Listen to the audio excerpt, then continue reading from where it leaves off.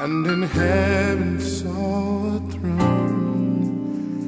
and he that sat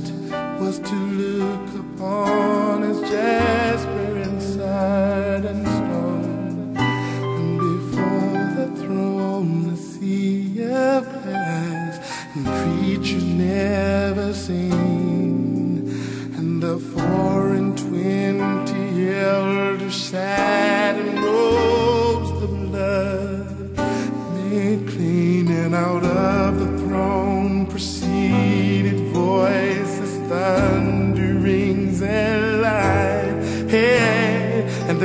creatures that surrounded him,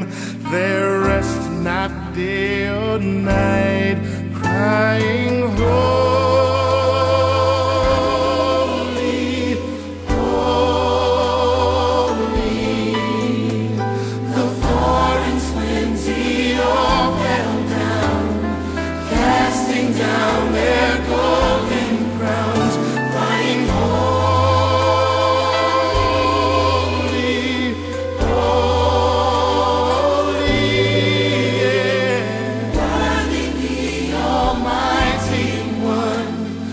was an